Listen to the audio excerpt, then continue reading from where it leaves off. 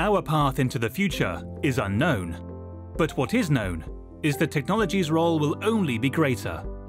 Artists and institutions have a vital role to play in how we imagine and shape our futures. And this can sometimes mean challenging the ideas and fundamental principles of innovation, as well as its role in society. I think a lot of people feel disconnected from technology. Everyone should have a say, everyone should have an understanding of how we can collectively organize. This means not just addressing the concerns of today, but projecting how we can fix the future. The theme as eternal networks is such a great way of summarizing the importance of the future. With data now the world's most valuable resource, mining and misuse poses a threat to our freedoms. At the Shed in New York, a new exhibition, Manual Override, sees artists use their work to ask how we can wrestle back control. What all of those artists have done in this show, Manual Override, is really to take their artistic practice and intersect that with their interest in issues around technology and how an artwork can be born from that interdisciplinary look. The title Manual Override refers to the moment in 80s action films when a piece of technology has gone awry and a lever or a red button appears in which someone can stop the system and save the day. And so my work within technology and with artists who use software, I've really found in the last 10 years in conversations that there is no button, there is no lever, and this is really the central problem of our time. And I think a lot of people feel disconnected from technology.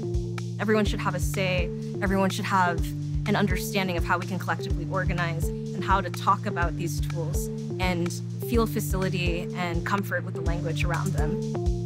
The show's curator, Nora Khan, and influential artist Lynn Hershman Leeson discuss how we can reclaim our digital selves. You're dealing with the issues of your time, and the technology is like the way to express the particular issues that didn't exist before. I think literacy around data and data privacy users of contemporary technology will have a very heightened sense of the fact that every time you make a post or post an image that that information is uploaded and is being used in ways that are outside of your control. So I think the understanding of that and the extent and range of that is a huge part of what needs to be taught. One thing, if people were to understand the loss of themselves and band together to change the direction, I think that you would see a massive change in both in societal values and individual belief in themselves, belief in their system. It's not an easy thing to do to change a legal structure, to change a society, to make them aware, but it's not impossible. I mean, in my experience, artists are given the challenges of technological design that we are facing right now, which I think the show is hopefully framing. Artists are really at the forefront of revealing that design and that intent.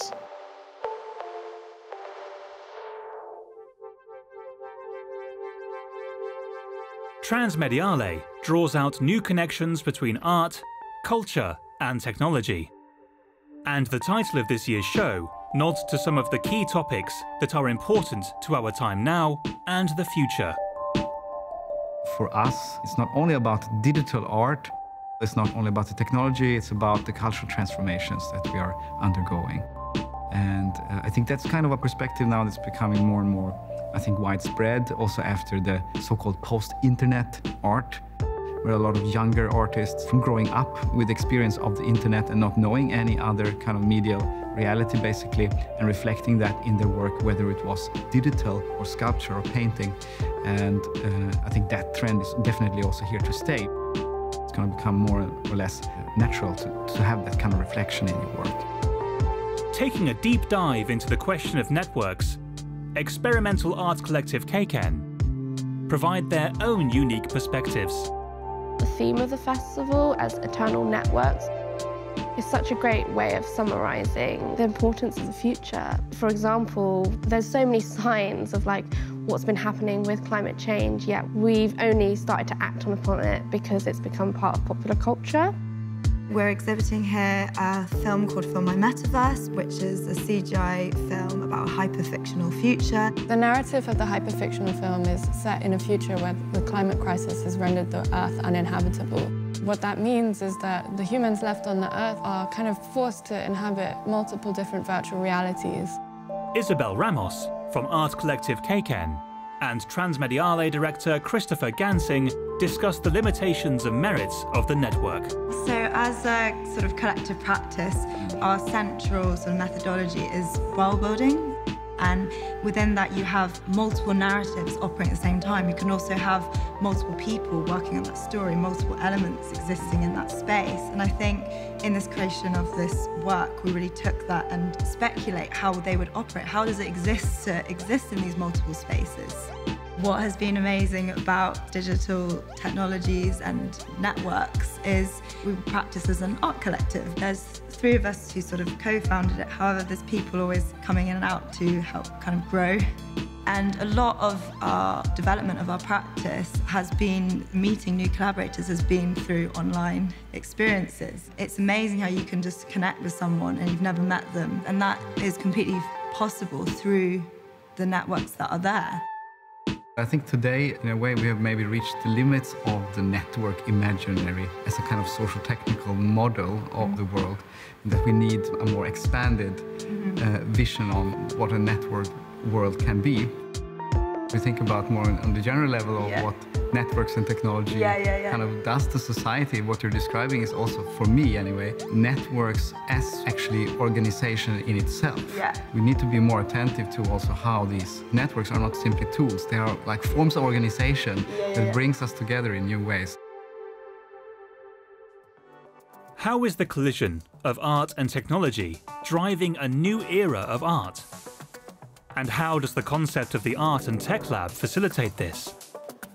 I think it's inevitable that technology is going to play more of a role in the way that experience is mediated in the museum world. Today, we, we see a lot of, you know, selfies happening at the museum and that sort of thing, and the way that audiences engage with the museum. They're looking more at their handheld device for information or just to take photos and uh, share and distribute them. But there's other ways also that technology can play a role, whether it's introducing new forms of artwork to audiences that had no idea such technological areas could be of interest to artists. Joel Ferree is joined by lab advisor John Suh, Vice President of Hyundai Motor Group's Corporate Venturing and Open Innovation Center Cradle, and lab artist Kirsten Mosher to discuss the intersection of art and technology.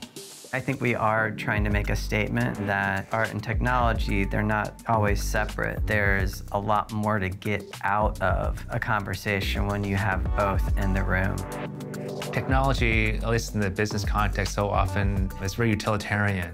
This program has afforded me the, the opportunity to think about you know, technology used in a different way. Maybe it's forging a new direction in the sense that that which might be considered art is changing and it can be different, and that which could be a typical way of using engineering or technology talent is also changing at the same time. A lot of people don't think of themselves as, you know, their identity isn't, I'm a technology artist. It can be misleading because it's not as much about one's identity or even desire to use high tech technology. It's more if you're asking questions that are pretty broad and might have a lot of paths. With technology, I mean, you do see a lot happening as far as extending or creating new ways to experience art. I mean, it used to be that it happened only in the museum, that that was the hallowed place, you know, where you come there for the experience and that's it.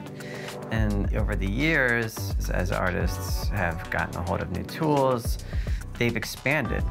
And I think we're kind of just in the beginning of that phase of finding new parameters, new experiences. There's so many different ways now to experience it than, the, than there once was. I think the idea of art and technology is that you pair with that tool the idea of art, which is human creativity, thinking, reflection, self identity. So you have two kinds of problem solving, two kinds of progress. And art is our humanity. How else do we even think about humanity of the past except to look at their art? And so if you think of that in the present, art and technology is pairing humanity in, in ways that will make our lives better, will connect more people, will create more equity. We all know that that's not the only possible future we have, but I think by pressing the art agenda within it, it improves the chances um, that our technological future is brighter. The role of art and artists is evolving. And it is clear to see that this collection of artists, curators, and creative technologists are encouraging us to question our role in the technological revolution. How will things look different when we participate and help shape the visions we want to see? Technology can be a powerful tool for enhancing our lives. Once we're able to gain control, and avoid the risks.